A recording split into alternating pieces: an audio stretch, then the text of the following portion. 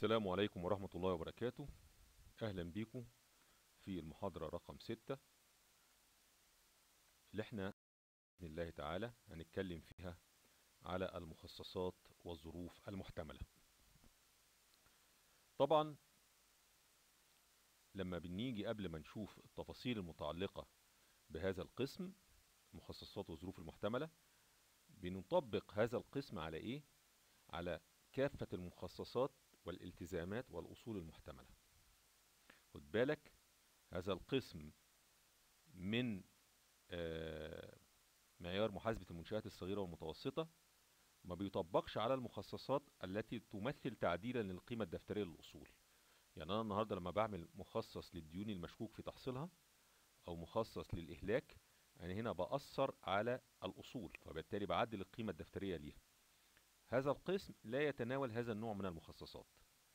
يبقى إن بنتناول فقط المخصصات التي تمثل التزامات على المنشأة. دي رقم واحد. الحاجة التانية هناخد أيضا مش بس المخصصات اللي بنا- تعتبر التزامات ولكن هناخد أيضا الالتزامات والأصول المحتملة وإزاي يتم معالجتها محاسبيا وفقا لمعيار محاسبة المنشآت الصغيرة والمتوسطة. يبقى إحنا اتفقنا مع بعض إن هنا ما بنتناولش كل أنواع المخصصات ولكن بنمثل بس أو بناخد بس المخصصات اللي بتعتبر التزامات على الشركة سواء كان هذا الالتزام التزام قانوني أو التزام حكمي. تعالوا بينا نشوف مع بعض تفاصيل هذا الق- أول حاجة هنتكلم على المخصصات. إيه هي المخصصات؟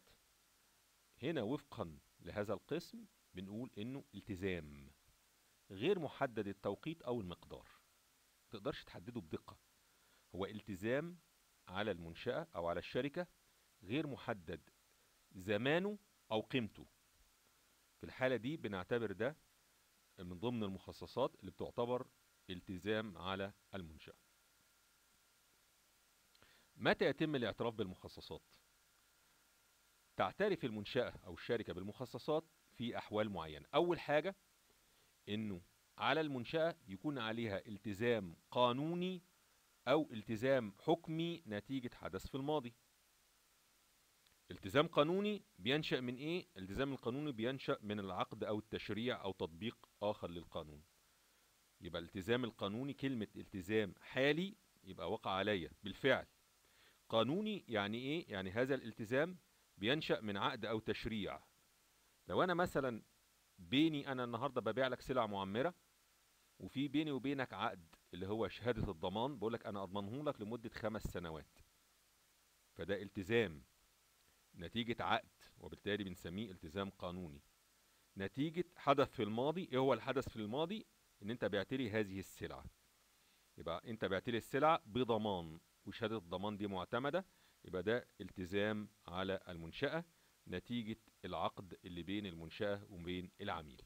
إيه هو الحدث اللي في الماضي اللي حدث؟ ونشأ عنه هذا الالتزام هو بيع السلع المعمرة دي سواء كانت تلاجة أو غسالة أو أو إلى آخره. مش بس كده يبقى اتفقنا مع بعض إن على المنشأة عليها التزام قانوني أو التزام حكمي.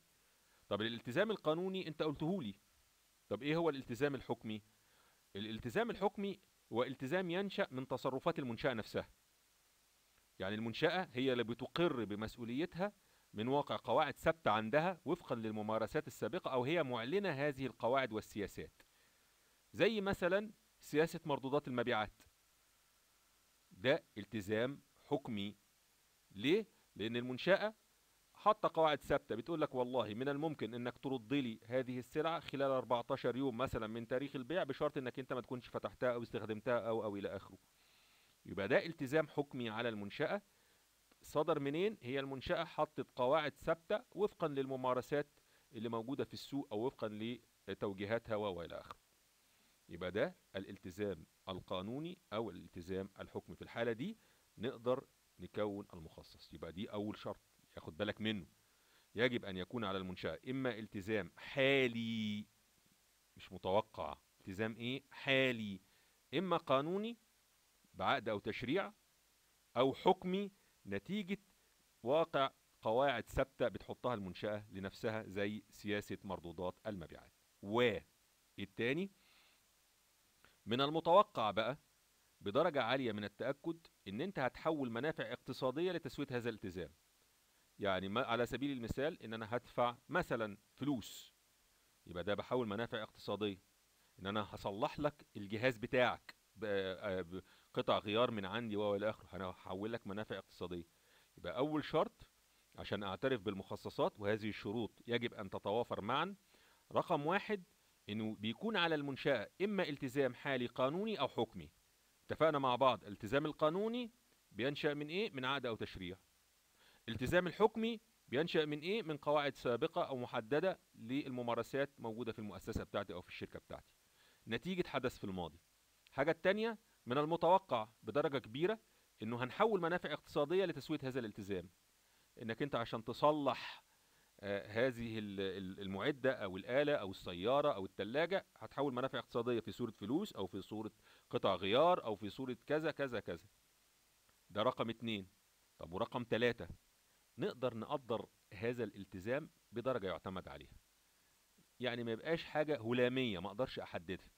وبالتالي من الممكن من واقع خبراتنا السابقة في بيع السلع بضمان أقدر أحدد كام في المية تقريبا بيكون قيمة هذا الالتزام. والله بيكون مثلا عشرة في المية من المبيعات خمسة في المية أو أو إلى آخره. وبالتالي من الممكن إن أنا أقدر قيمة هذا الالتزام بدرجة نثق فيها بدرجة يعتمد عليها. ما يبقاش التقدير جزافي. لما أجي أقول لك أنت قدرت القيمة دي إزاي تقدر تجاوبني وتقول قدرتها إزاي. طيب. المنشأة بتعترف بقى. خلاص توافر شروط الاعتراف الثلاثة لازم يبقوا الثلاثة دول مع بعض. على المنشأة التزام حالي قانوني أو حكمي نتيجة حدث في الماضي. من المتوقع يخرج من عندي منافع اقتصادية علشان أساوي هذا الالتزام وأقدر أقدر قيمة هذا الالتزام بدرجة يعتمد عليها. بنعترف بيها كالتزام في قائمة المركز المالي مقابل الاعتراف بقيمته كمصروف. يعتبر ده بالنسبة لي مصروف. طيب. نشوف النقطة الثانية كيف يتم القياس الأولي للمخصصات؟ أقيسه إزاي؟ إيه المخصصات دي اللي أنا هقيسها؟ إحنا بنقيس قيمة هذه المخصصات وفقا لأفضل التقديرات للنفقات المطلوبة لتسوية الالتزام. يعني أفضل تقدير ممكن أقدر أوصل له من واقع الخبرة من واقع مثلا لو في أحكام قضائية عليا بمبالغ معينة أجيب الشؤون القانونية وأقعد معاهم ونتدارس ونوصل إلى ده أفضل تقدير ممكن لتسوية الالتزام. إمتى الكلام ده؟ في نهاية كل فترة مالية. واداني بعض الاشتراطات أو بعض الحالات اللي آخد بالي منها. نمرة واحد إذا كان المخصص ده لعدد كبير من البنود آخد نقطة وسط. يعني النهارده لو كان عندي مثلا بعض الحالات المتعلقة بإنك بتعمل مخصص لنفقات لتعويضات نفقات التقاعد للعمال والموظفين اللي عندي وعندي 20 عامل اللي هياخد 10 واللي هياخد 50 واللي هياخد 100 واللي هياخد كذا باخد متوسط لتقدير قيمة هذا المخصص. يبقى إذا من الممكن إن أنا آخد قيمة وسط لتقدير قيمة هذا المخصص. أنا مش عارف هل كله لما آه هنقدر ندفعه هنسدده ناس هتكمل ناس هتخرج معاش مبكر إلى آخره بيبقى فيه تقدير قيمة وسط لهذا الأمر. تاني حاجة ناخد بالنا منها النقطة رقم اتنين دي لما يكون هناك تأثير جوهري للقيمة الزمنية للنقود. يعني إيه؟ يعني من الممكن إنه هذا ال ال الالتزام اللي عليا يتسدد على سنوات طويلة. وبالتالي أصبحت النهاردة المحاسبة تتلائم شوية مع الواقع العملي فلازم ناخد في اعتبارنا القيمة الزمنية للنقود. وبالتالي بنعتمد هنا على جداول القيمة الحالية عشان أقدر أقدر قيمة هذا الالتزام. فهنا بيقول لي إيه؟ قيمة المخصص اللي أنا بكونه في هذه الحالة هي عبارة عن إيه؟ عبارة عن القيمة الحالية للمبالغ المتوقع تسويتها للالتزام باستخدام معدل الخصم المناسب وفقا لتقديرات السوق. واحدة من أفضل الأساليب للوصول إلى القيمة الحالية هي جداول القيمة الحالية. نشوف معدل الخصم المناسب في السوق كام؟ النهاردة من الممكن يبقى 10% يبقى 9% يبقى 11% وأشوف الفترة الزمنية بعد سنة بعد اتنين بعد تلاتة وأشوف القيمة وأحطها. ضمانا للموضوعية. يبقى خد بالك من النقطة دي لأن هي بتفيدني جدا في الجانب العملي. لما بيكون المخصص أو هذا الالتزام اللي عليا ماله على مدى زمني طويل يبقى في الحالة دي ما بنحطش المبالغ كما هي. لا بنجيب لها الإيه؟ بنجيب القيمة الحالية للمبالغ المتوقع تسويتها للالتزام وهو ده اللي بثبته وبعد كده بيتم تعديله تباعا. تمام؟ النقطة دي واضحة؟ وهتبان لي أكتر في الحالات العملية. طيب شوف رقم ثلاثة لو من المتوقع إنك تسترد بعض النفقات أو كلها للمخصص اللي أنت مكونه لو كنت مثلا مأمن لدى شركة تأمين وبالتالي مش هتدفع هذه القيمة أنت كنت مأمن على البضاعة اللي هتوصل لفلان ما وصلتش السفينة غرقت حصل كذا حصل كذا لكن أنت مأمن عليها. ففي الحالة ديت ودي ممكن تاخد فترات طويلة لغاية أما تتم لكن الراجل ده أنت كان فيه في العقد شرط جزائي فدفعته أو سددته. فلما تسترد قيمة هذه الأموال وأنت متوقع الاسترداد ده مؤكد بالنسبة لك مفيش أي مشاكل اولا إن القيمة دي لا يجب إن هي تزيد عن قيمة المخصص ابدا. وما بتعملش مقصة. أمال أعمل إيه؟ أثبته كأصل. الجديد ده كأصل منفصل. يبقى بنسبته الفلوس جات لك يبقى من حساب البنك استردادات ثم في الطرف الآخر استرداد مصاريف صيانة إلى آخره. أو مصاريف تعويضات أو ايا كان المصروف اللي أنت استرديته ده.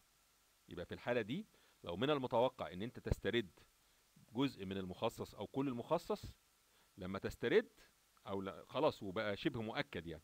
في الحالة ديت ما بنعملش مقاصة بين القيمة المستردة والمخصص بنثبت هذا الاسترداد كأصل منفصل. وخلاص تمام الحال؟ ده بالنسبة للحالة رقم 3 طيب ده القياس الأول للمخصص تعالوا بقى بينا القياس اللاحق في الفترات التالية. في حاجات أو في قواعد معينة لازم أخد بالي منها. أولا أن المخصص لا يستخدم إلا في الغرض الذي أنشئ من أجله. دي رقم واحد. يعني أنت عملت مخصص للتعويضات القضائية يبقى يستخدم في التعويضات القضائية. متعلق بالالتزامات متعلقة بضمان المبيعات يبقى المخصص ده يستخدم في المبيعات وضمان المبيعات وهكذا. لا يستخدم المخصص إلا في الغرض الذي أنشئ من أجله. دي قاعدة عادية جدا موجودة من سنوات عديدة. طبعا في نهاية كل فترة مالية بالتالي بنعيد بن بنقدر المخصصات عشان تعكس أفضل تقدير. هل يا ترى المخصص اللي إحنا عملناه كنا أكبر من اللازم ولا أقل من اللازم؟ كنا متوقعين السنة دي مثلا إن إحنا يبقى المخصص المتعلق بالتعويضات القضائية يبقى مثلا 100000 إحنا دفعنا 600 إيه ده؟ إيه ده؟ أو متوقع ندفع 600 يبقى لازم نعدله. دفعنا 10 أو متوقع ندفع 10 يبقى لازم نعدله. نفس الشيء بالنسبة للضمان وأي إيه وأي مخصص من المخصصات اللي أنت اشتغلت عليها. طيب إيه كمان؟ النقطة دي مهمة جدا بتفيدني برضو في الجانب العملي. لو أنت قست المخصص بالقيمة الحالية. يعني كان القيمة الزمنية للنقود إن المخصص هيغطي فترات زمنية طويلة تتعدى السنة واثنين وثلاثة وأربعة. في الحالة ديت الفرق ما بين القيمة الحالية اللي أنت طلعتها لمبلغ المخصص والقيمة النقدية بنعتبرها تكلفة تمويلية. يبقى مرة تانية. يعني مثلا هنقول إن أنت مثلا هتعمل مخصص المخصص ده كان قيمته 500 ألف جنيه. بس ده على مدة أربع سنين 500 ألف جنيه نقدي. لما بتقسمه بالقيمة الحالية ما يبقاش 500 ابدا هيبقى أقل لأن القيمة الزمنية للنقود مالها متغيرة. نفترض 500 اللي أنت ثابتهم هم النهاردة يساوي 450 ألف. القيمة الحالية يبقى إحنا هنثبت بالكام؟ ب 450 ألف. طب وال50 نعتبرها تكلفة تمويلية تتوزع على المدى الزمني للمخصص. لو كان أربع سنين أقسمها على أربعة لو كان ثلاث سنين أقسمها على ثلاثة لو كان سنتين أقسمها على سنتين وهكذا. ودي نقطة مهمة جدا واعتبر من النقاط الجديدة. لما يكون القيمة الزمنية له أهمية نسبية فمبلغ المخصص اللي إحنا هنثبته هي القيمة الحالية للنفقات. القيمة الحالية للنفقات المتوقع أن تكون مطلوبة لتسوية هذا الالتزام. ماشي. أثبتنا القيمة الحالية. لكن في الواقع نقدا لما أجي هسجل أنا هسجل النقدي كام؟ أنا سجلت دلوقتي المخصص أو الالتزام عليا بالقيمة الحالية. عند بقى استحقاقه بنعتبر الفرق بين القيمة النقدية والقيمة الحالية تكلفة تمويلية وبنثبتها كتكلفة تمويلية. ده وفقا لهذا المعيار ووفقا للمعيار الدولي اللي لما جيت اتكلم برضه في هذه النقطة عالجها بنفس المعالجة ودي هتبان لي في الحالات العملية اللي إحنا هناخدها مع بعض. طيب. تعالوا نشوف زي ما تعودنا مع بعض ناخد حالة فعلية من الأدب المحاسبي في تكوين المخصصات ونعلق عليها. هل يا ترى هذه الشركة أصابت أم أخطأت؟ وإذا أصابت أصابت في إيه؟ وإذا أخطأت أخطأت في إيه؟ دي الحالة الحقيقة ديت أنا معظم الحالات كنا بنجيبها من حالات دولية أو عالمية. الحالة ديت حالة مصرية. تعالوا مع بعض نقرأ الحالة دي ونشوف قصتها إزاي. في إحدى شركات المساهمة المصرية اللي هي الشركة الشرقية Eastern Company اللي هي الشركة بتاعت السجاير كونت الشركة مخصص وسمته مخصص مواجهة الخسائر المتوقعة لنقل الآلات. ليه؟ ذلك لتوقعها. خسائر عند نقل الآلات إلى مصانع الشركة المزمع إنشائها مستقبلا في مدينة 6 أكتوبر. قد بلغ حجم هذا المخصص في 30 6 2003 مبلغ قدره 168 مليون جنيه و500 ألف. دي رقم واحد. ثم تكوينه كون لي 27 ونص مليون عام 2000 وكون 112 ونص مليون في سنة 2001 وكون 147 ونص عام 2002 يبقى أنا هنا كون لي هذا المخصص على مدار زمني طويل ثلاث سنوات واعتبر ده مخصص وموجود عندي من ضمن عناصر المخصصات. فإيه رأيكم في هذه الحالة؟ هل هنا بنعتمد قيمة هذا المخصص ولا لا يعتمد وإيه الأسباب؟ وفقا للقواعد التعريفية اللي إحنا قلناها عن المخصصات. إيه الحدث اللي في الماضي نتج عنه التزام في المستقبل؟ إحنا قلنا إن المخصصات علشان أعترف بيها كمخصصات ليها مجموعة من الإيه؟ من الشروط. الشرط الأولاني إن على المنشأة التزام حالي نتيجة حدث في الماضي. هو مفيش التزام حالي. وفي حاجة متوقعة. وبعدين إيه الحدث اللي في الماضي؟ مفيش حدث في الماضي. أنت النهاردة بتبني عايز تنقل. يبقى معنى ذلك لا يوجد التزام حالي على المنشأة وبالتالي ما أقدرش أعترف بده بقيمة معينة. هيبقى هذه القيمة بتفتقد أهم شرط من شروط الاعتراف بالمخصصات إنه بيكون على المنشأة التزام حالي نتيجة حدث في الماضي. لا يوجد على الشركة الشرقية Eastern Company دي أي التزام حالي نتيجة حدث في الماضي. وبالتالي لا نعتبر هذه المخصصات مخصص بالمفهوم اللي إحنا قلنا عليه ولا تعتمد ضمن المخصصات ويجب رد هذا المخصصات إلى المنشأة وبالتالي عدم اعتماده. ده مثلا حالة موجودة عندنا.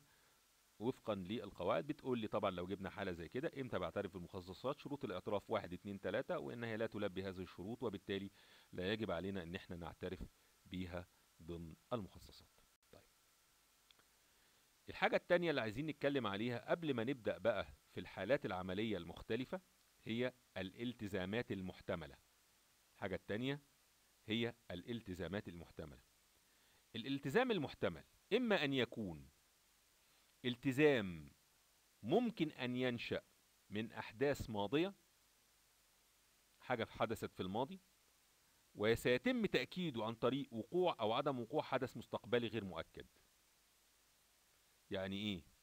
يعني أنا النهاردة نفترض إنه في بيني وبين شركة إن أنا لازم أورد لها بضاعة في تواريخ معينة وحصل ظرف قهري مخلينيش ألتزم بهذا الميعاد وفي شرط جزائي. فقال لي ادفع الشرط الجزائي قلت له لا ده في حدث قهري حصل. لا من حقنا لا مش من حقنا راح رفع عليا قضية. يبقى ده التزام ممكن. ممكن ليه؟ لأنه من الممكن إنه القاضي يحكم لي أو يحكم له بناء على إيه؟ بناء على تقدير هذا الظرف القهري اللي منعني من إتمام هذا العقد. يبقى الحدث الماضي هو عملية العقد اللي بيني وبينك نتيجة مثلا بيع أو شراء ايا كان طبعا عملية البيع. وفي الحالة ديت أنا ما التزمتش بيه علشان واحد اتنين تلاتة. طب إيه هو وقوع أو عدم وقوع الحدث المستقبلي؟ القاضي هيحكم بإيه؟ ده غير مؤكد. والذي لا يكون بأكمله تحت سيطرة المنشأة. طبعا هذا الحدث غير بالكامل أو بالتأكيد مش تحت سيطرة المنشأة. أو هو التزام حالي على المنشأة لا يتم الاعتراف به لافتقاده شروط أو واحد من شروط الاعتراف. نمرة واحد من غير المتوقع سداد تدفقات لتسوية هذا الالتزام. واحد من الموظفين رافع عليا قضية لأي سبب من الأسباب عشان تعويض عشان حصل كذا كذا وفي أول درجة اتحكم لكن أنا متأكد إن إحنا في بعض الأخطاء اللي حصلت ما قدمناش الورق في الميعاد مش عارف نسينا كذا كذا كذا مش متوقعين إن إحنا نسدد أي تدفقات لتسوية هذا الالتزام. يبقى ده بنسميه التزام إيه؟ التزام محتمل أو مش قادرين نقدر القيمة بموثوقية بدقة. يعني مش قادرين بقى نقدر. هو فعلا التزام حالي المنشأة. الشركة دي عليها إن هي هتدفع تعويض متأكد لأن إحنا مثلا خرقنا شروط البيئة مثلا وفي في آآ غرامات مثلا من مئة ألف المليون طب أنا هقدره إزاي؟ آه هندفع صحيح. من الممكن أدفع مية وممكن ممكن أدفع مليون. مش قادر أقيس هذه القيمة بدقة أو بموثوقية. وبالتالي إحنا في الحالة دي بنفصح في الإيضاحات المتممة عن هذه الالتزامات المحتملة. أما الالتزامات اللي بتخص المنشأة المقتنعة عند تجميع الأعمال فنعترف بها كالتزام. طيب يبقى في كل الأحوال إن إحنا بنفصح في الإيضاحات المتممة عن الالتزامات المحتملة اللي إحنا قلنا شروط الاعتراف بها لا تتوافر أو فقدنا واحد من شروط الاعتراف أو إنه الحدث دوت من الممكن إنه يترتب عليه سداد تدفقات لتسوية الالتزام أو أو أو إلى آخره. طيب ده بالنسبة لمين؟ بالنسبة للالتزامات المحتملة. طب إيه هو الفرق بين المخصصات والالتزامات المحتملة؟ عشان بس إيه نوضح كده الأمور تبقى في ذهننا. إيه الفرق بين المخصصات وما بين الالتزامات المحتملة؟ أول حاجة المخصص التزام حالي. أنا عليا دلوقتي التزام. سواء كان الالتزام ده ها اتفقنا مع بعض. له كام شكل؟ له شكلين. له كام شكل؟ قانوني أو حكمي. التزام حالي.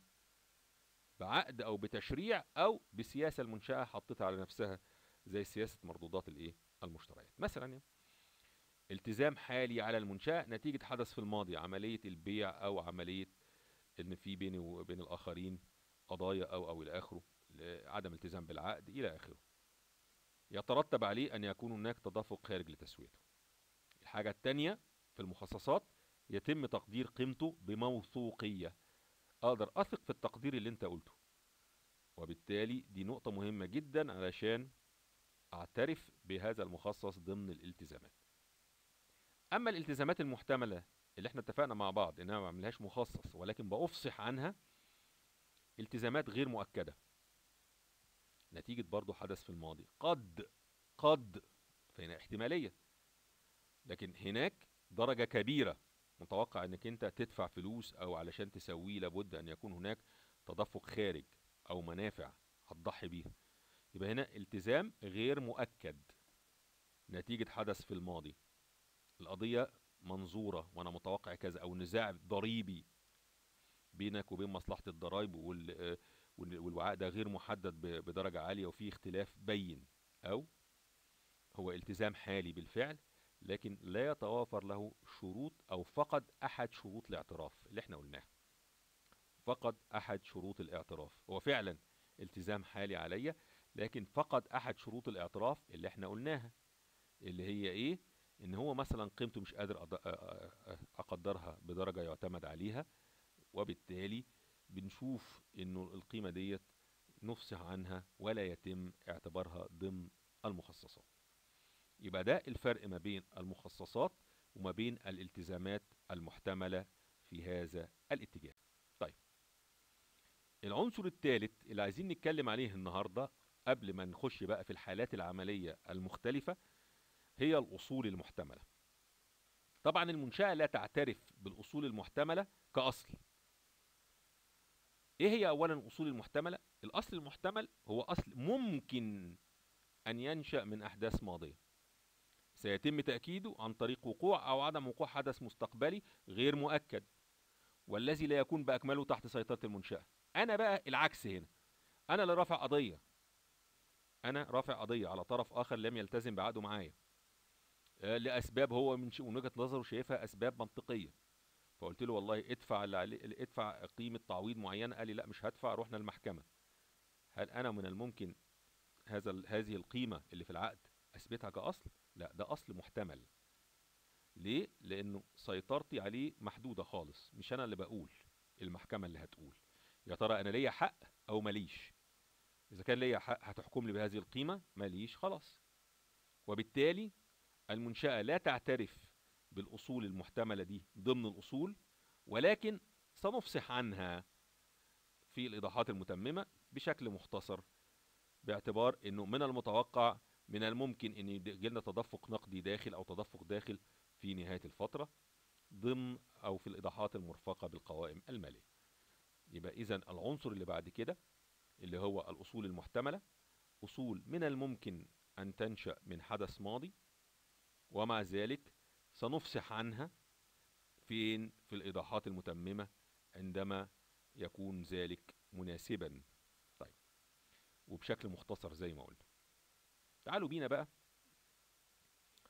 آه لو التدفق النقدي الداخل دي الحاجة الأخيرة بقى اللي هنتكلم عليها. لو التدفق النقدي الداخل ده شبه مؤكد؟ آه خلاص. ده أنا اتحكم لي حكم. خلاص. وقد يكون الحكم ده حكم نهائي أو حكم شبه مؤكد. بس في تفاصيل ليه. إنه محجوز للحكم أو الحكم كذا أو في استئناف أو في حددت لي التعويض من إلى وهنقول لك بالظبط كام. هنا ما بقاش أصل محتمل ودي حاجة بديهية ده بقى أصل. ليه؟ لأنه اخدت أنا حكم آه، بهذه التعويضات اللازمة. طيب. تعالوا بينا ناخد الحالات التطبيقية المختلفة اللي ممكن تقابلني في هذا الاتجاه وكيف يمكن معالجتها في ضوء الكلام اللي قلناه. نشوف كده احتمالات مختلفة نبدأ بحالات بسيطة ثم نبدأ نخش في حالات أعمق شوية. الحالة التطبيقية الأولانية بيقول لك إيه؟ بناء على تدهور إنتاجية أحد القطاعات في مصنع كريستال عصفور نتيجة لمنافسة الإنتاج الصيني لقطاع الأباجورات. كلنا عارفين في فترة من الفترات طبعا وما زال أن الإنتاج الصيني غزا السوق. وبأسعار تقريبا لو أنت حسبت التكلفة بتاعتك تساوي التكلفة. فقال لك في واحد مصنع بينتج هذه الأباجورات فمن المتوقع تحقيق خسائر تشغيلية لهذا القطاع للفترات المقبلة تقدر بمليون ومئتين ألف جنيه. الراجل مش هيقدر يوقف. بيقول لك إن آه يعني ده في ناس شغالة وفي عنده عملاء وفي عقود للتصدير و إلى آخره.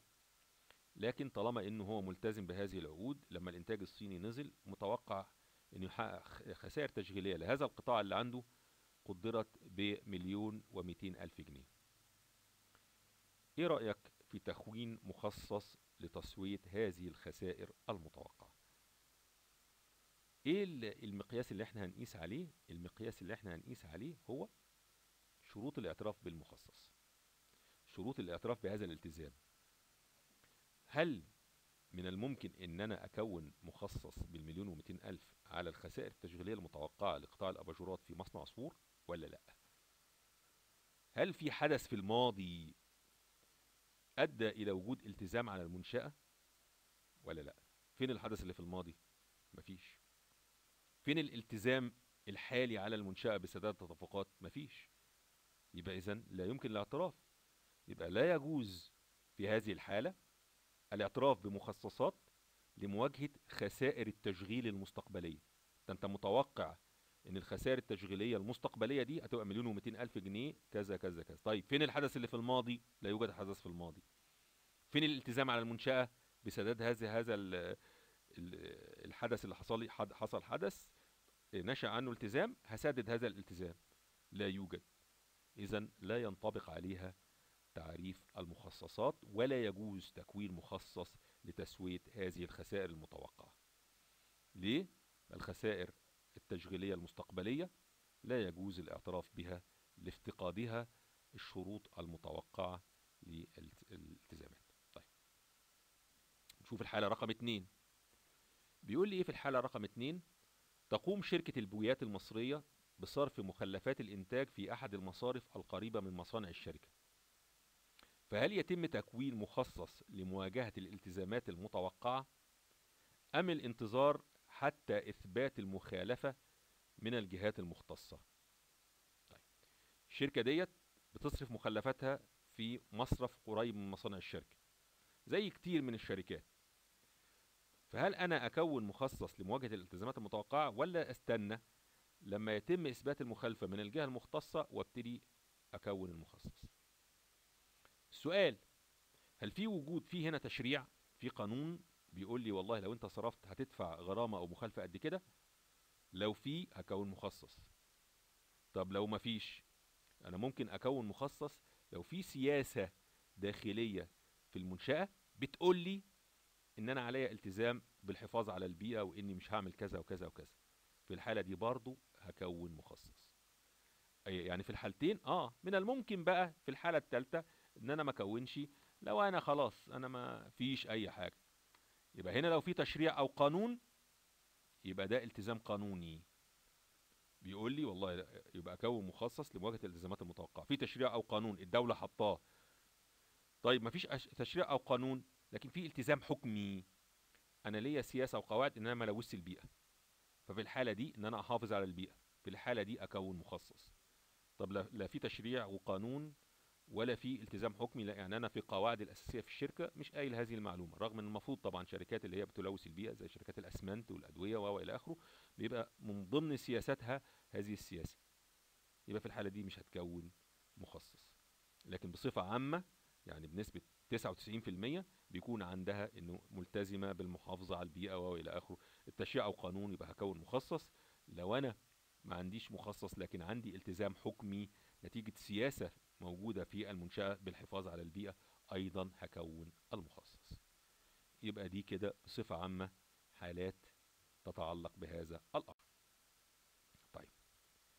الحالة الثانية بيقول لي إيه؟ في 30 10 2018 صدر حكم صدر ضد المنشأة بتاعتي حكم قضائي أول درجة بسداد تعويض قدره 800 ألف جنيه.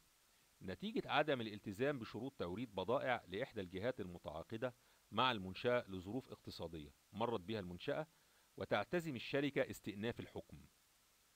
تناول بالشرح والتحليل كيفية معالجة تأثير هذا الحكم على المنشأة ماليا من خلال إعداد قيود التسوية اللازمة لإثبات ذلك. طيب في الحالة ديت أنا في عندي التزام حالي. مش كده؟ اللي هو إيه؟ إنه في عندي التزام إني أسدد تعويض قدره 800 ألف جنيه. نتيجة حدث ماضي اللي هو إيه؟ إن أنا بعت بضاعة وعملت عقد وما قدرتش ألتزم بشروط توريد البضاعة لإحدى الجهات المتعاقدة عليه. متوقع إن أنا أسدد هذه الالتزامات. صحيح هستأنف ممكن يكون أقل شوية وبعد مع الشؤون القانونية وبنحدد آه هل المبلغ ده هيندفع؟ آه هيندفع. القيمة كام؟ القيمة كذا. وصلنا إلى إن هذه القيمة هي القيمة المتوقع سددها. يبقى نكون مخصص بالكام؟ بال ألف جنيه اللي هي خسارة تعويضات قضائية إلى حساب مخصص تعويضات تحت التسوية. يبقى هنا في الحالة دي شروط الاعتراف بالالتزام موجودة. الشروط الثلاثة إنه في قيمة مقدرة بدرجة موثوق بها ده حكم محكمة مش حكمي ولا حكم الآخر. الحاجة التانية إنه دوت التزام حالي على المنشأة إن أنا أسدد 800 ألف نتيجة حدث في الماضي عدم التزامي بشروط توريد البضائع لإحدى الجهات المتعاقد عليها يبقى ده الشرط التاني اللي إحنا قلنا عليه. ومن المتوقع إن أنا أحول هذه المبالغ لهذه الشركة. يبقى في الحالة ديت بنعمل إيه؟ بنكون هذا المخصص. يبقى بصدور الحكم القضائي أصبح على المنشأة التزام يتوافر له كافة الشروط اللي إحنا قلناها الشروط الثلاثة للاعتراف بهذا الالتزام ضمن الالتزامات بتاعتي لتكوين مخصص في 31 12 كما يلي.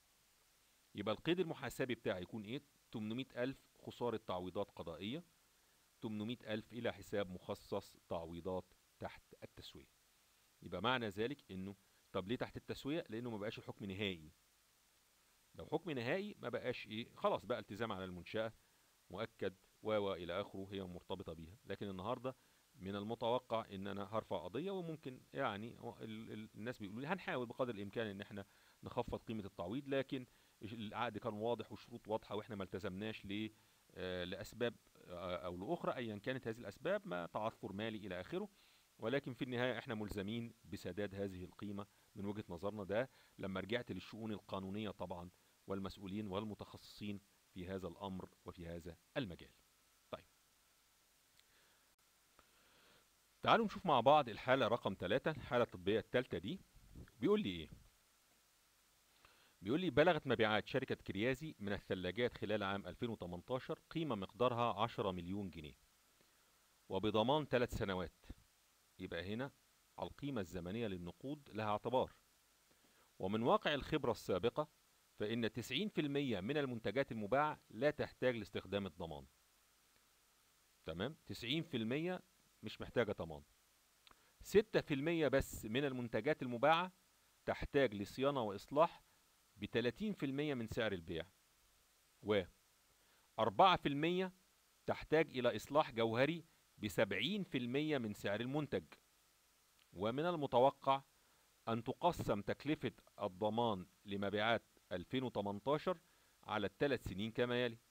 في 2019 يبقى 60% منها؟ يعني أنت الضمان لما يطلع لك طلع مثلا 100000 يبقى في 2019 هنستخدم 60% منه في 2020 هنستخدم 30% منه في 2021 هنستخدم 10% منه. يبقى كده استخدمنا الضمان بالكامل اللي هو 100% بين المعالجة المحاسبية السليمة لما تقدم آخذا في الاعتبار تغير القيمة الزمنية للنقود علما بأن أسعار الفائدة على السندات الحكومية 6% لسندات استحقاق عام و7% سندات استحقاق عامين أو ثلاثة اللي هو ده سعر الخصم المناسب في هذه الحالة. طيب في الحالة دي بنعمل إيه؟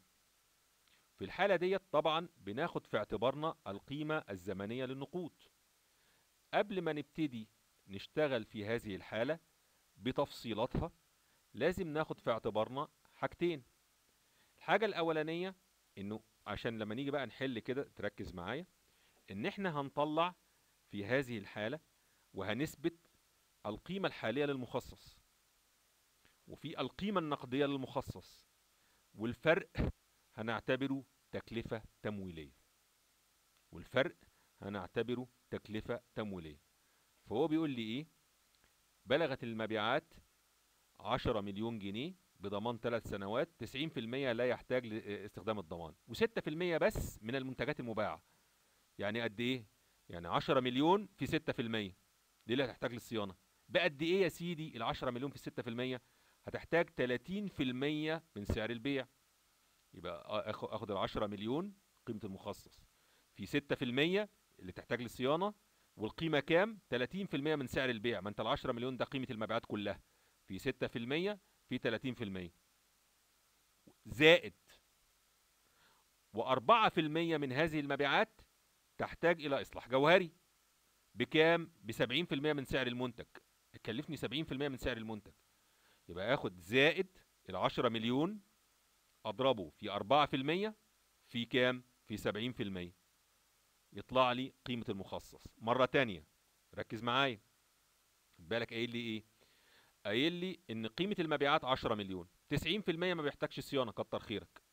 طب ال 10% الباقيين إيه نظامهم؟ ما اداهمليش بالك واحد. ال 10% الباقيين قسمهم جزئين. 6% منهم يحتاج لصيانة ب 30% من سعر البيع. يبقى أضرب 10 مليون في 6% في 30% يطلع لي رقم. طيب زائد و4% منها من ال 10 مليون يبقى أضرب 10 مليون في 4% تحتاج إلى إصلاح جوهري ب 70% من سعر المنتج. يبقى لما ضربت ال 10 مليون في 4% طلع لي قيمه المبيعات بتاعت ال 4% أضرب في كام؟ في 70% يبقى زائد 10 مليون في 4% في 70% يطلع لي مخصص الضمان عن الفترة بالكامل. ده المخصص ده بالقيمة الحالية ولا بالقيمة النقدية؟ ده مخصص الضمان عن فترة الضمان بالكامل اللي هي الثلاث سنين بأنهي قيمة؟ بالقيمة النقدية. يبقى لازم نحولها إلى القيمة الحالية ونثبتها بالقيمة الحالية علشان وفقا للكلام بتاع المعيار. طيب طلعت لي قيمة معينة هقسمها بقى على سنوات 2019 60% 2020 30% 2021 10% هنبين هذه المعالجة آخذا في الاعتبار القيمة الزمنية للنقود علما بأن أسعار الفائدة على السندات الحكومية 6% لسندات استحقاق عام و7% لسندات استحقاق عامين ثلاثة. يعني ممكن تبقى مثلا 7% عامين و8% لثلاثة يعني يبقى اديني ثلاث معدلات للخصم.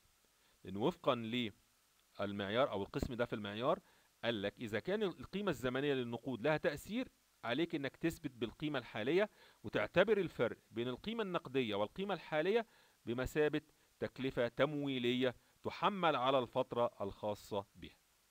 طب تعالوا بينا بقى نشوف الحل ده هيمشي معانا إزاي. طيب الكلام اللي إحنا لسه قايلينه دلوقتي نطبقه عمليا بقى على الحالة بتاعتنا. فقلنا إيه؟ قيمة مخصص ضمان المبيعات عن فترة الضمان. اتفقنا مع بعض؟ إنه قال لي 6% بس من المبيعات هتحتاج 30% قيمة 30% من قيمة السلعة يبقى اذا أضرب ال 10 مليون جنيه في 6% تطلع لي القيمة اللي محتاجة تحتاج قد إيه إصلاح؟ 30% من قيمتها. يبقى 10 مليون في 6% في 30% تطلع لي 180 ألف جنيه. وقال 4% من قيمة المبيعات تحتاج إلى إصلاح بما قيمته 70% من قيمة المبيعات. ماشي الحال. من أن قيمة أنهي مبيعات؟ من ال 4% يبقى ال 10 مليون في 4% في 70% القيمة دي هتطلع لي كام؟ هتطلع لي 280 ألف جنيه. يبقى إذا مخصص الضمان عن الفترة بالكامل اللي هي الثلاث سنوات طبعا إحنا هنضمن السلعة بتاعتنا دي ثلاث سنين 19 و20 21 يبقى عبارة عن كام؟ 180 ألف زائد 280 ألف بتساوي 460 ألف جنيه. ده بالنسبة لإيه؟ بالنسبة للقيمة النقدية. هو قال لي خد بالك آخذا في الاعتبار القيمة الزمنية للنقود. ودي ال ال الحالة اللي بتغيب عن معظم شركاتنا ومؤسساتنا.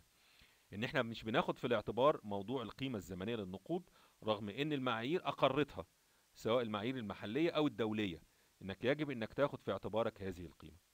بنعتمد في ذلك بقى على إيه؟ نعتمد في ذلك على جداول القيمة الحالية. هو قال لك معدل الخصم بالنسبة للسنة الواحدة 6% لسنتين أو ثلاثة 7% يبقى هنجيب جداول القيمة الحالية جدول القيمة الحالية لو أي حد فينا عندنا جدول للقيمة الحالية وإن شاء الله نبقى نجيب لكم صورة لهذا الجدول ونشتغل بيها مع بعض لكن هي جداول القيمة الحالية موجودة في أي كتاب من كتب الإحصاء أو التمويل عادي جدا. فبيقول لي إيه؟ أنا عادي جدا. قال لي ال 460 ألف جنيه دول الضمان عن كام سنة؟ عن ثلاث سنوات. هو في الحالة بيقول لك هنستخدم في السنة الأولى 60% من قيمة الضمان في السنة الثانية 30% في السنة الثالثة 10% يبقى أنا أجي أعمل نفس الكلام. يبقى السنة الأولى 460 ألف جنيه في 60% السنة الثانية اللي هي 2020 460 ألف جنيه في 30% والسنة الثالثة 460 ألف جنيه في 10% هتطلع لي زي ما قدامك هو باينة السنة الأولى يبقى هنا الضمان عن السنة الأولى النقدي 276 ألف جنيه وعن السنة الثانية 138 ألف جنيه وعن السنة الثالثة 46 ألف جنيه. المجموع الكلي يطلع 460 ألف جنيه. ده إيه؟ ده اللي هندفعه نقدا. وبنفترض إنه بالفعل ودي طبعا حالة مش مش الطبيعية لكن دي حالة تدريبية فقط إنه فعلا كل سنة السنة الأولى كانت 276 السنة الثانية 138 السنة الثالثة 46 عشان نكمل بس الفكرة نفسها إن يهمني الفكرة. وقال لي إن معدل الخصم في السنة الأولى 6% وللسنتين التانية والتالتة 7% أنا بعمل إيه؟ بروح لجداول القيمة الحالية. يبقى هنا عن الفترة مقدارها فترة واحدة. ومعدل الخصم 6% أشوف معامل الخصم كام؟ يبقى بروح لجداول القيمة الحالية. عام واحد يبقى البيريود أو الفترة واحد. وبمشي ده أفقي. وبمشي رأسي لغاية ما أوصل لمعدل الخصم ستة في المية. هلاقي أن معامل الخصم سنة مع معدل ستة في المية هيطلع لي فاصلة تسعمية تلاتة وأربعين من ألف. تسعمية تلاتة وأربعين من ألف. يبقى الميتين ستة وسبعين ألف جنيه. في تسعمية تلاتة وأربعين من ألف تطلع لي ميتين وستين ألف ميتين تمانية وستين. يعني الميتين ستة وسبعين ألف جنيه بعد سنة تساوي النهاردة ميتين وستين ألف ميتين تمانية وستين. ما تم بالنسبة للسنة الأولى هيتم بالنسبة للسنة التانية والسنة التالتة تعالوا مع بعض. السنة التانية في المية. يبقى أضرب الربعمية وستين ألف جنيه ضمانها تلاتين في المية. تطلع لي مية تمانية وتلاتين ألف جنيه. طب معدل الخصم بتاعي كام؟ سبعة في المية. يبقى أروح على جداول سبعة في المية. طب الفترة هنا قد إيه؟ سنة ولا سنتين؟ دي السنة التانية. يبقى سنتين. يبقى أنزل عند الفترات رقم اتنين. وأمشي بالعرض لغاية ما أوصل لمعدل سبعة في المية. هلاقي معدل سبعة في المية عند فترة السنتين تمنمية تلاتة وسبعين من ألف. أروح حاطط معامل الخصم تمنمية تلاتة وسبعين من ألف.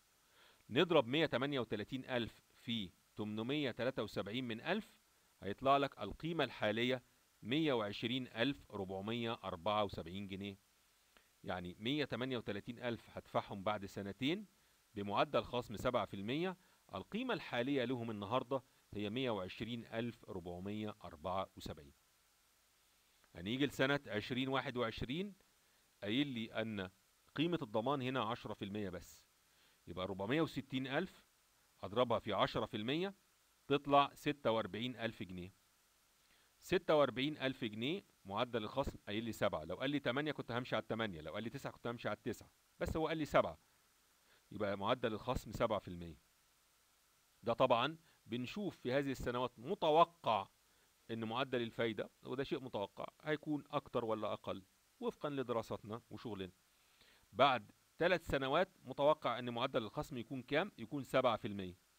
يبقى ننزل للفترات الفترة الثالثة ثلاث سنوات وامشي أفقي لغاية معدل سبعة في المية هيطلع لي 816 ألف.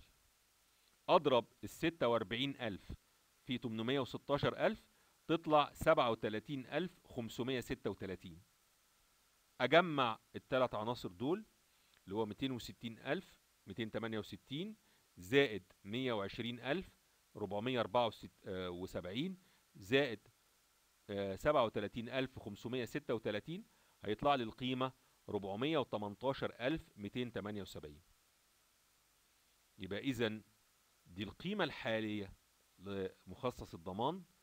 ومخصص الضمان النقدي إحنا مطلعين 460 ألف يبقى هناك تكلفة تمويلية مقدارها كام؟ مقدارها 417 آه مقدارها 41722 جنيه 41722 تخص الثلاث سنوات طب السنة الأولى كام؟ والتانية كام؟ والتالتة كام؟ بسيطة السنة الأولى هي الفرق ما بين 276 و 260 يعني في حدود 16000 طب والسنة التانية؟ هو الفرق ما بين 138 و 120 يعني في حدود 18000 مثلا. طب والسنة التالتة؟ هي الفرق ما بين 46 و 37 يعني في حدود آه كام؟ 9000 مثلا يعني يعني تقريبا أو أقل قليلا. أنا بقول لك بتيجي إزاي؟ يبقى التكلفة التمويلية للسنة الأولى هي الفرق ما بين المدفوعات النقدية للسنة الأولى اللي هي 276 ألف جنيه والقيمة الحالية للسنة الأولى اللي هي 260 ألف 268 طيب والتكلفة التمويلية للسنة الثانية هي الفرق ما بين 138 ألف جنيه اللي هي المدفوعات النقدية للسنة الثانية و120 ألف 474 اللي هي القيمة الحالية للسنة الثانية والسنة الثالثة كمثل 46 ألف جنيه والفرق ما بينها وما بين 37536 الثلاثة دول لو طلعت مجموعهم لازم مجموعهم يطلع لك كام؟ يطلع لك 41722 طيب وطالب إن أنا أعمل القيد المحاسبي وإذا افترضنا إن القيمة ديت موجودة خلاص وهي نفس القيمة المسددة يعني إحنا سددنا في سنة 19 276 وفي سنة 20 138 وفي سنة 21 سددنا ال 46 القيد هيكون إزاي؟ طبعا إحنا هنسجل الأول بالقيمة الحالية. اللي هو كام؟ اللي هو 418 ده المعيار بيقول لي كده. يبقى لما تيجي تسجل بالقيمة الحالية هتقول إيه؟ هتقول 418 278 من مصروف ضمان إلى مخصص ضمان. ده أول قيد. إحنا بس هنقوله كده لأن الأرقام قدامنا. وبعد كده نشوف العملية متسجلة إزاي. يبقى هنسجل بالإيه؟ بالقيمة الحالية. ده مصروف ضمان. يبقى 418 278 من حساب مصروف الضمان إلى حساب مخصص الضمان ب 418 278 طيب التكلفة التمويلية للسنة الأولى بتكون كام؟ عشان نثبتها يبقى بشكل طبيعي هنثبت السنة الأولى اللي هي اتفقنا أهو الفرق ما بين 276000 ناقص 260000 268 تطلع 15732 15732 دي هنعتبرها مصروفات تمويلية زي ما قال لي المعيار. يبقى ال 15732 من حساب مصروفات تمويلية هتزود بيهم مخصص الضمان. ليه؟ لأنه في النهاية اللي بيتصرف هو ال 276000 لكن أنا أثبت أن المخصص وفقا للقيمة الحالية النهاردة يعادل بس 418000 يخصوا كتكاليف تمويلية عن السنة دي 15732 يبقى 15732 من حساب مصروف تمويلي أو مصروفات تمويلية 15732 إلى حساب مخصص الضمان. أزود مخصص الضمان بهذه القيمة. طيب إحنا صرفنا كام؟ نفترض إن إحنا صرفنا ال 276 بالفعل يبقى 276000 من حساب مخصص الضمان 276000 إلى حساب النقدية أو المخزون إلى آخره. تمام؟ يبقى مرة تانية نكرر بس الحتة دي لأن هي هتبقى سيستماتيك لسنة 20 وسنة 21 إيه يا عم الحكاية؟ أول حاجة إن القيمة الحالية لمصروف الضمان تعادل كام؟ تعادل 418278 اللي إحنا مطلعناها اهي دي القيمة الحالية 418278 يبقى هنعمل القيد بالكام؟ بال 418 278 من حساب مصروف الضمان 418 278 إلى حساب مخصص الضمان. دي رقم واحد. كويس. طيب في السنة دي المصروفات التمويلية اللي تخصه كام؟ المصروفات التمويلية اللي تخص هذه السنة هي الفرق ما بين 276000 و 260000 الفرق ما بين 276000 و 260000 278 طلعناها مع بعض 15732 يبقى دي هنزود مخصص الضمان بهذه القيمة على اعتبار اللي هندفعه مش القيمة الحالية. إحنا هندفع 276 بالفعل. يبقى اذا القيد بتاعك 15732 من حساب مصروفات تمويلية 15732 إلى حساب مخصص الضمان. يبقى الاثنين مجموعهم يديني 276 بالفعل إحنا بقى صرفنا 276 ألف في الضمان بتاع سنة 2019 يبقى القيد المحاسبي بتاعي 276 ألف من حساب مخصص الضمان 276 ألف إلى حساب النقدية أو المخزون بحسب الأحوال. طيب وسنة 20 21 نفس الكلام. بس هنا مش هنعمل القيد الأولاني اللي هو بتاع من المصروف للمخصص. هنزود بس المخصص من مصروفات تمويلية للمخصص ثم من المخصص إلى المخزون. تعالوا بينا نشوف الحل بتاع هذه الحالة العملية ونرجع نتكلم تاني. يلا بينا بقى نشوف قيودي اليومية اللازمة.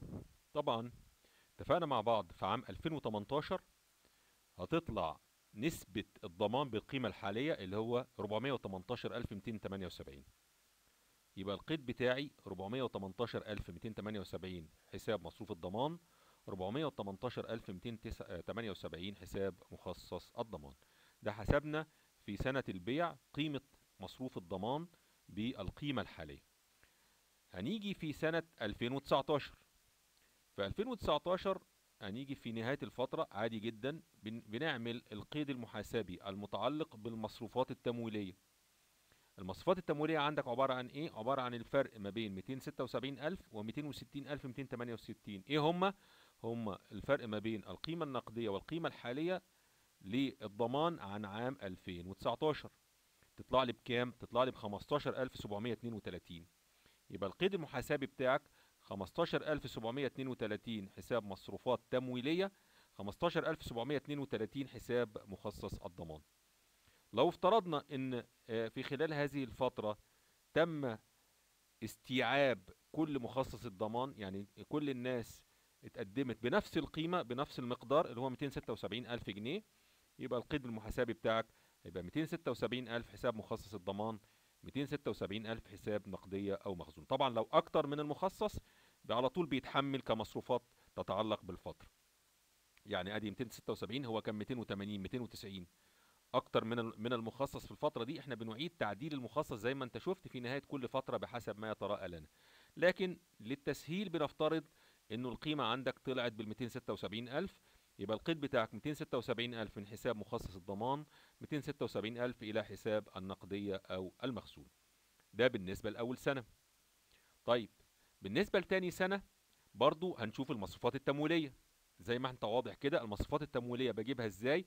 الفرق بين ال 138000 وال 120474 اللي هم بتوع 2020 إيه ال 128000 دي المدفوعات النقدية المتوقعة للضمان.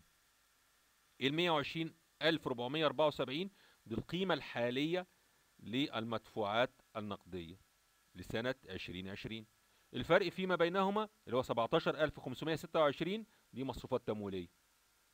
يبقى معنى ذلك إن أنا بعمل القيد بالكام؟ ب 17526 17526 من حساب مصروفات تمويلية 17526 حساب مخصص الضمان. لو إحنا تصورنا مع بعض إنه هذا الضمان تم استيعابه بالكامل اللي هم 138000 يبقى القيد بتاعك 138000 من حساب مخصص الضمان 138000 لحساب النقدية أو المخزون. ده في عام 2020 وكمثل في عام 2021 يبقى المصروفات التمويلية بتاعتي كام؟ من حساب مصروفات تمويلية 8464 إلى حساب مخصص الضمان برضو ب 8464 بنزود مخصص الضمان بهذه القيمة. وبعد كده بنعمل إيه؟ أنا عندي المصروفات التمويلية 446000 ناقص 37536 طلعت لي القيمة اللي إحنا عملنا بيها القيد اللي هي 8464 القيد الأخير إنك بتعمل بمخصص اللي هو 46000 من مخصص الضمان لو القيمة النقدية بنفسها 46000 إلى حساب النقدية أو المخزون. ده فيما يتعلق بهذا البند وكيفية معالجته في اللي طيب مش هيبقى لنا غير حاجة واحدة بس نشوف الأثر بقى على القوائم المالية ومخصص الضمان والمعالجة بتاعة مخصص الضمان. تعالوا بينا نعمل بقى حساب مخصص الضمان في عام 2019 عندك الرصيد 418278 ده الرصيد اللي انت عملت بيه أول قيد في عام 2018 من حساب المصروف إلى حساب المخصص. كويس؟ أضفنا في عام 2019 مصروفات تمويلية مقدارها 15732 ودفعنا للضمان نقدية أو مخزون حسب الأحوال 276000 يبقى هنا 418 278 زائد 15732 ناقص 276 هيطلع لك الرصيد 158010 ده لو افترضنا زي ما إحنا اتفقنا إنه هذا المخصص تم استيعابه بالكامل أو تم استخدامه بالكامل.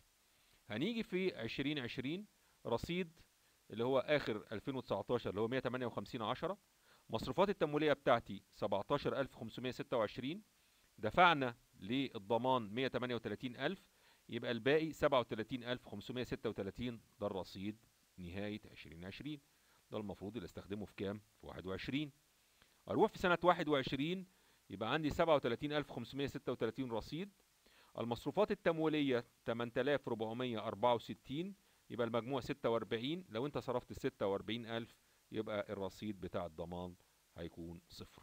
ده طبعا إحنا ما حطيناش فيه مبيعات سنة 2019 2020 2021 الحساب هيظل مفتوح ومتتالي لكن إحنا بندي بس دي حالة تدريبية بحيث إنك أنت تبقى عارف كيفية التصرف في حالة ما إذا كان عندك ضمان لمدة زمنية طويلة فبناخد في الاعتبار القيمة الزمنية للنقود وبالتالي بنطبق أو بنستخدم جداول القيمة الحالية والفرق ما بين القيمة النقدية والقيمة الحالية اعتبرها المشرع عبارة عن مصروفات تمويلية تحمل على الفترة المتعلقة بها.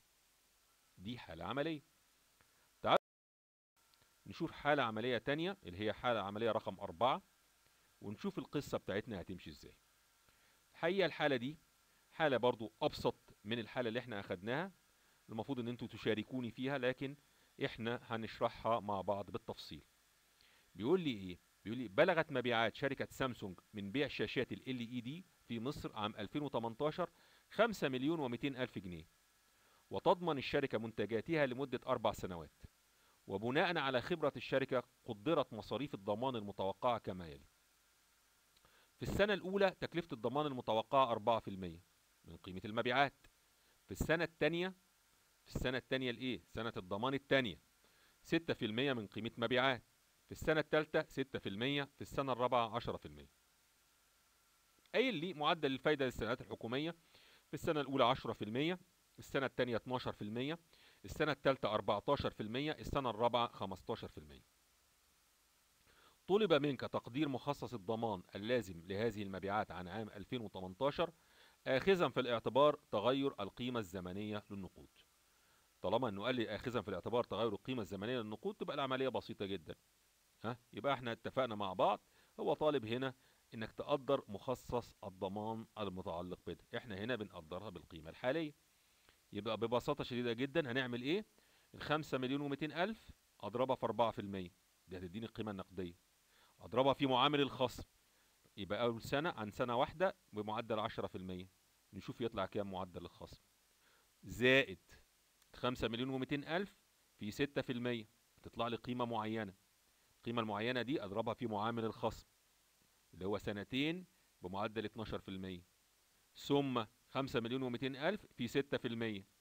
وبعدين القيمة اللي هتطلع القيمة النقدية عايز أحولها لقيمة حالية أضربها في ثلاث سنوات الفترات من جداول القيمة الحالية أمشي ثلاث سنين معدل الفايدة 14% يطلع لي قيمة معينة زائد 5 مليون ومئتين ألف في 10% واللي يطلع دي القيمة النقدية. أحولها لقيمة حالية إزاي؟ أشوف معامل الخصم أربع سنوات بمعدل كام؟ 15% تطلع لي قيمة معينة. أجمع هذه العناصر الأربعة هذه القيم الحالية الأربعة وأعمل القيد المحاسبي بيها بهذا المجموع. من حساب مصروف الضمان إلى حساب مخصص الضمان. تعالوا بينا نشوف الحل مع بعض كده ونشوف الخطوات اللي إحنا عملناها. طيب أنا عندي أربع سنوات للضمان السنة الأولى السنة الثانية السنة الثالثة السنة الرابعة. يبقى إذا أول سنة خمسة مليون ومئتين ألف أضرب في أربعة في المية. تطلع لي ميتين وتمانية ألف. في معامل الخصم أجيبه منين؟ من جداول القيمة الحالية. سنة بمعدل الخصم اللي هو قايله لك في التم... التمرين بتاعنا أوصل إلى إن هو يطلع 90 91 يبقى طلع لي هذه القيمة وأروح إيه؟ وأروح ثابتها. والسنة الثانية نفس الكلام 5 مليون و200 ألف 6% تطلع 312 ألف. أضربها في معامل الخصم سنتين بالمعدل اللي هو قايله لك. والسنة الثالثة برضو قايل لي 6% يبقى 5 مليون و200 ألف في 6% تطلع لي برضو 312 ألف. معامل الخصم لثلاث سنوات بمعدل الخصم اللي قاله لك. والسنة الرابعة نفس الكلام. أجمع القيم الحالية الأربعة اللي هو 189 ألف 93 زائد 248 ألف 726 زائد 210 ألف 600 زائد 297 336 هتطلع لي القيمة هنا 945 755 يبقى دي قيمة مخصص الضمان لمبيعات السنة دي اللي هي مبيعات عام 2018 وبعمل بيها القيد المحاسبي. القيد المحاسبي أعمله بإيه؟ من حساب مصروف الضمان 945755 إلى حساب مخصص الضمان 945755 وفي تكاليف تمويلية تحمل على كل فترة لما نيجي بقى في سنة السنوات المختلفة الأولى والثانية والثالثة والرابعة. هي الفرق ما بين القيمة النقدية لمصروف الضمان والقيمة الحالية له لكل سنة من السنوات وتحمل على الفترة. يبقى دي نفس الفكرة اللي إحنا لسه قايلينها حالا بس إيه عاملينها على حاجة مبسطة شوية تتعلق بمبيعات شاشات. طيب. نشوف الحالة رقم خمسة. بيقول لي إيه؟ بيقول لي فيما يلي. اللي هو مديني الحالة رقم خمسة دي متعلقة بإيه؟ متعلقة بشركة بتبيع ساعات. بيقول لي فيما يلي بيانات شركة الساعات العالمية عن مبيعاتها لعام 2018 وتضمن الشركة منتجاتها لمدة سنة. سعر بيع الساعة 500 جنيه. وبناء على خبرة الشركة قدرت مصاريف الضمان المتوقعة كما يلي. قيمة المبيعات في هذه السنة 50 مليون جنيه. التكلفة المقدرة لضمان المبيعات كنسبة من حجم المبيعات. قال لك واحد في المية من الساعات من الساعات. تحتاج ضمان 50 جنيه. وربع في المية من الساعات 25 من مية في المية من الساعات اللي هي ربع في المية من الساعات تحتاج ضمان ب 100 جنيه. بيان القيود المحاسبية اللازمة لتسوية هذه الحالة مبينا الأثر على القوائم المالية علما بأن مصروفات الصيانة المدفوعة عام 2019 بلغت 70 ألف جنيه. طيب. هنا لما حسب ما حسبها ليش كقيمة من المبيعات ده المعدل التقليدي أو الشكل التقليدي. وقال لي واحد في المية من الساعات مش واحد في المية من قيمة الساعات مش واحد في المية من المبيعات. مثلا من الساعة يعني واحد في المية من الساعات. يبقى أنا الأول لازم أطلع عدد الساعات. مبيعاتنا كام؟ مبيعاتنا أهي مع بعضينا أهي خمسين مليون جنيه. مفيش مشكلة. مبيعاتنا خمسين مليون جنيه. أقسمها على كام؟ أقسمها على خمسمية. تطلع لي مئة ألف ساعة. عدد الساعات مئة ألف ساعة. يبقى المئة ألف ساعة قال لك واحد في المية منهم تحتاج خمسين جنيه. يبقى مئة ألف في واحد في المية في خمسين. زائد ربع في المية منهم يبقى مئة ألف في ربع في المية في مية. هنا ما قالكش خد القيمة الزمنية في الاعتبار. خلاص يبقى المخصص بهذه القيمة. مرة تانية خد بالك قايل لي إيه في الحالة العملية دي؟ بيقول لك التكلفة المقدرة لضمان المبيعات كنسبة من حجم المبيعات. واحد في المية من الساعات تحتاج ضمان خمسين جنيه. ربع في المية من الساعات تحتاج ضمان مية جنيه. باين أو طالب مني بيان القيود المحاسبية اللازمة لتسوية هذه الحالة مبينا الأثر على القوائم المالية علما بأن مصروفات الصيانة المدفوعة عام 2017 بلغت 70 ألف جنيه. يبقى في الحالة دي بنحول القيمة إلى حجم. قيمة المبيعات 50 مليون جنيه. أقسمها على سعر بيع الساعة 500 طلعت لي 100 ألف ساعة. ومش قايل لك نأخذ القيمة الزمنية للنقود لأنه ضمنها سنة واحدة وبالتالي أعمل إيه بقى؟ أحسب هذه القيمة مئة ألف في واحد في المية في خمسين زائد مئة ألف في خمسة وعشرين من مية في المية في مية يبقى أنا طلعت لي هنا إيه؟ طلعت لي قيمة الضمان نبص الحالة بقى وبعدين بيقول لي يعني في النهاية إن إحنا دفعنا مصروفات سبعين ألف في هذه السنة وبين لي الأثر على القوائم المالية واللي إحنا نعمل يلا بينا بقى نشوف قيودي اليومية اللازمة. طبعا اتفقنا مع بعض في عام 2018 هتطلع نسبة الضمان بالقيمة الحالية اللي هو 418278 يبقى القيد بتاعي 418278 حساب مصروف الضمان 418278 حساب مخصص الضمان. ده حسبنا في سنة البيع قيمة مصروف الضمان بالقيمة الحالية. هنيجي في سنة 2019 في 2019 هنيجي في نهاية الفترة عادي جدا بن- بنعمل القيد المحاسبي المتعلق بالمصروفات التمويلية. المصروفات التمويلية عندك عبارة عن إيه؟ عبارة عن الفرق ما بين 276000 و 260268 إيه هما؟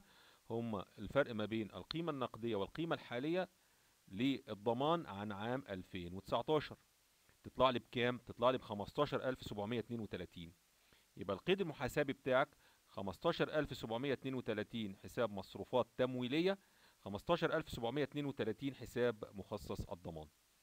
لو افترضنا إن آه، في خلال هذه الفترة تم استيعاب كل مخصص الضمان يعني كل الناس اتقدمت بنفس القيمة بنفس المقدار اللي هو 276 ألف جنيه. يبقى القيد المحاسبي بتاعك هيبقى 276 ألف حساب مخصص الضمان 276 ألف حساب نقدية أو مخزون. طبعا لو أكتر من المخصص على طول بيتحمل كمصروفات تتعلق بالفترة يعني أدي 276 هو كان 280 290 أكتر من من المخصص في الفترة دي إحنا بنعيد تعديل المخصص زي ما أنت شفت في نهاية كل فترة بحسب ما يتراءى لنا. لكن للتسهيل بنفترض إنه القيمة عندك طلعت بال 276000 يبقى القيد بتاعك 276000 من حساب مخصص الضمان 276000 إلى حساب النقدية أو المخزون. ده بت... نشوف الحالة العملية رقم 6 بيقول لي إيه؟ فيما يلي بيانات شركة توشيبا العربي عن مبيعاتها لعامي 2017 و 2018 إيه بقى القصة دي بتاعت عمك توشيبا دي؟ القصة إيه؟ بيقول لي تضمن الشركة منتجاتها لمدة سنتين وبناء على خبرة الشركة قدرت مصاريف الضمان المتوقعة كما يلي. في 2017 متوقعين نبيع ب 6 مليون جنيه. المصروفات المدفوعة لضمان المبيعات بالفعل في هذه السنة اللي تم فيها المبيعات 6 مليون 250 ألف جنيه. التكلفة المقدرة لضمان المبيعات 3% في سنة البيع و5% في السنة التالية. يعني أنا دلوقتي بضمن المبيعات لمدة كام سنة؟ لمدة سنتين. سنة البيع ب 3% والسنة التالية بنسبة كام؟ 5% طيب مبيعات 2018 وده الشيء الطبيعي إن بيبقى عندك طبعا مبيعات متتالية ومخصص الضمان في قيم متتالية. بعنا ب 8 مليون جنيه. المصروفات المدفوعة لضمان المبيعات 380 ألف التكلفة المقدرة لضمان المبيعات برضو قايل لي 3% في سنة البيع و5% في السنة التالية. بيان القيود المحاسبية اللازمة لعامي 2017 و2018 مبينا الأثر على القوائم المالية. طيب يبقى هنا عندك هنا مش مديني تغير القيمة الزمنية للنقود لكن ممكن يطلبها. يعني خلينا بس إيه في الحالة زي ما هي كده مش هنحاول نخرج عن النطاق أو السياق لكن تبقى في بالك إن ممكن تبقى فيها تغير في القيمة الزمنية للنقود وقلنا الحل بيمشي إزاي. طيب هنيجي في أول سنة أنت عندك المبيعات 600 ألف يبقى هنضرب في كام؟ عشان أطلع قيمة مصروف الضمان 3% زائد 5% إيه 3% مصروفات الضمان للسنة البيع و5% للسنة التانية. يبقى معنى ذلك هيبقى كام في المية؟ يبقى 8% يبقى أضرب 600 ألف في 3% زائد 5% يعني 8% دي أول سنة. وأعمل القيد بالرقم اللي يطلع لك من المصروف للمخصص. استخدمنا منه قد إيه؟ 250 ألف. يبقى 250 ألف من المخصص إلى النقدية أو المخزون. طيب. مبيعات 2018 طلعت لي كام؟ مبيعات 2018 ب 8 مليون جنيه. جميل. طيب يبقى إذا برضو التكلفة المقدرة لضمان المبيعات 3% في سنة البيع اللي هي سنة 2018 و5% في السنة التالية. يبقى معنى ذلك برضو هضرب ال 8 مليون في كام؟ في 8% اضرب ال 8 مليون في 8% تطلع قيمة معينة. ماشي الحال.